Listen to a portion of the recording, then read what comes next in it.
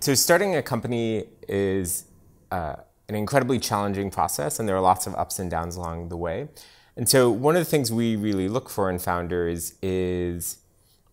uh, is just grit and determination and uh, just a sort of implacable spirit. And so the, I think when meeting teams, I think understanding the sort of the adversity that the team has gone through and the way that they've powered through that adversity, I think, is uh, is really important. Uh, one of the things we're proud of at Sequoia is the number of companies that we've backed that have been uh, founded by either first or second generation immigrants, and I think one of the reasons for that is there are people who have come to this country or you know to, to other countries in pursuit of a new life and kind of have a dogged determination to create something from nothing um, that we really respect and admire.